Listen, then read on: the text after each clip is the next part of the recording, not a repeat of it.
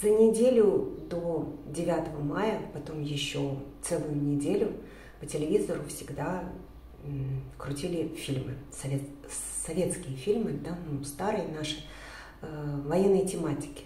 И я постоянно наблюдала за тем, как в это время мама ходила с красными глазами, наполненными слезами, и постоянно она плакала. Вы знаете, как я...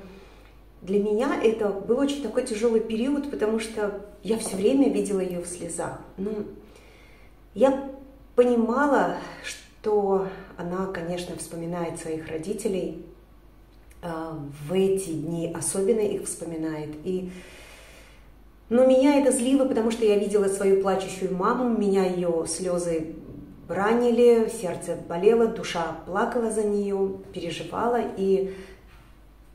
Но это на самом деле этап нашей жизни. А, мама не была участником войны, а, мой папа тоже не был участником войны. Более того, мой папа вообще дитё Победы, он родился в 45 году, летом, а мама через два года после Победы.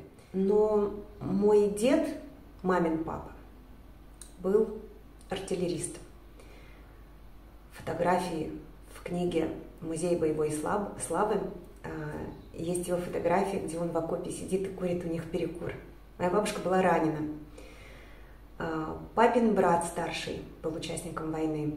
Очень хочется надеяться, что наши отцы, деды, прадеды, а, они отдавали свою жизнь, рисковали своей жизнью не зря, что нам удастся все-таки сохранить мирное небо.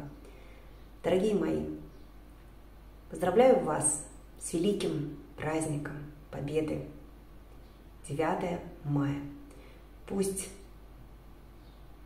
нам всегда светит яркое солнце, и лучи его пробиваются ну, максимум через грозовые тучи, а не через клубы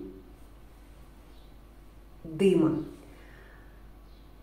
которые образовываются от пожаров, от э, взрывов снарядов. Пусть над нами будет мирное небо. Пусть наши дети, наши внуки будут счастливы. Э, пусть у нас у всех будет возможность слышать смех наших детей и внуков. Пусть все у нас в этой жизни будет с вами хорошо.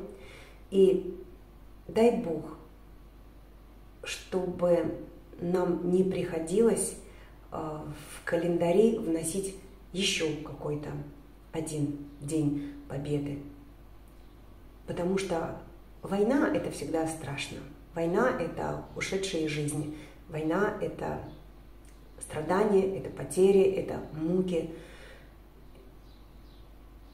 Всем нам счастья на этой земле. Мне на самом деле трудно об этом говорить. Возможно, детям, ну, нашим детям, да, полегче, потому что мне бабушка очень много рассказывала про войну. Я помню, как она рассказывала, что она бегала по кукурузным полям, они были комсомольцами, прятали свои комсомольские билеты в подошве обуви и э, перебегали через кукурузные поля, носили нашим партизанам еду, таскали, воду. Вот. И я э, в такие моменты тоже вспоминаю ее рассказы, Возможно, что когда я стану еще старше, я, наверное, точно так же, как и мама, буду, скорее всего, наверное, плакать, да. Сейчас нет. У меня нет слез. Есть чувство, есть такое учащенное сердцебиение в эти моменты. Ну, наверное, это все. А, скорее всего, у наших детей и этого уже не будет, потому что они далеки от этого. Да, и знаете, и слава Богу. И пусть они вообще будут от этого далеки. Еще раз с праздником вас, мои дорогие! С Днем Великой Победы!